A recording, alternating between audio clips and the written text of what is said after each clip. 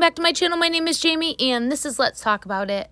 So today I am here with a new little dolly that I bought for myself on AliExpress and I am so excited about this doll.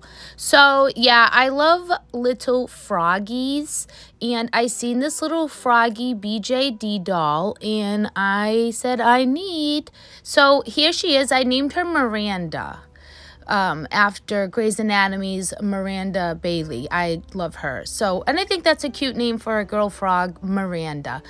Now, how do I know she's a girl? I don't. I just said she is because I don't have a lot of um little girl froggies yet. I only have Nando and he needs a girl in his life. So when I originally opened this girl, I had to take the back of her head off and put in her eyes. That's the only thing you have to do and it was super easy to do. It comes with the putty and as you can see I did it. So if I can do it literally anybody can do it. She is blushed. You can tell the seller whoever it was um it was on aliexpress. I will leave the link down below if you want one.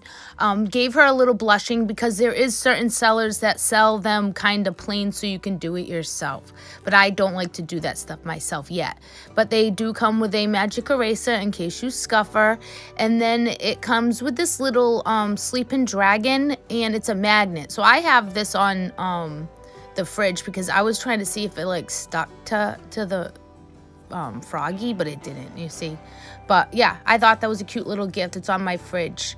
And yeah, so look at her here. She's kind of shy. She's got the cutest little butt. And here she is with Nando and a little prop that I bought for Nando's little pad that he has. So this is them two together and they're going to be lifelong friends.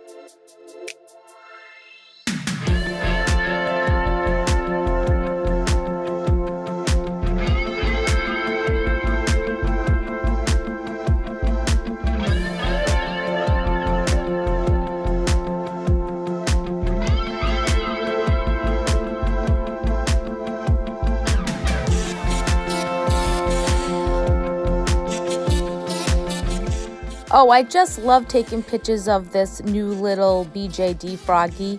Guys, if you liked this Froggy, I'm going to leave the link of the seller that I bought mine from down below and you can enjoy one for yourself. So if you like this video, please press like, subscribe, and I'll see you later.